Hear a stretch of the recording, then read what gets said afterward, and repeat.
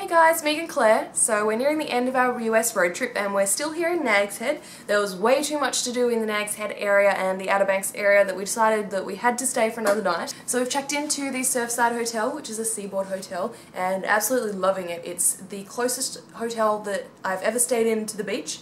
Uh, where literally we could jump out our balcony and pretty much dive straight into the surf. It's amazing. So let's show you around. The whole hotel is incredibly clean. I've stayed in beach hotels which just have that like beach feel but there's nothing about this hotel that's not clean. Everything's impeccable. It's really unique as well. I love that for instance the um, lampshade is a pineapple. Um, you've got amazing beach portraits all over the walls so it makes it really homey, really really lovely. Love it. Come and check out the view.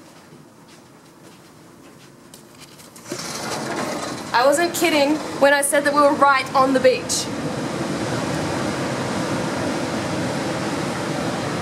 So we've been people watching this morning. There were a few guys um, doing push-ups that were getting nailed by the waves, which was amusing to watch.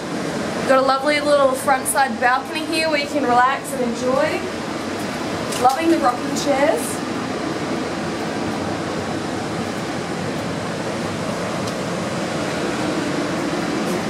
And then coming back inside, have an awesome little living space where you can just kind of lounge out. There's complimentary wireless internet access so you can enjoy the, um, the couch area for a little bit more space. Um, also complimentary breakfast which we're heading down to grab now. Um, overall, thumbs up, we can see why Surfside is number one rated on TripAdvisor.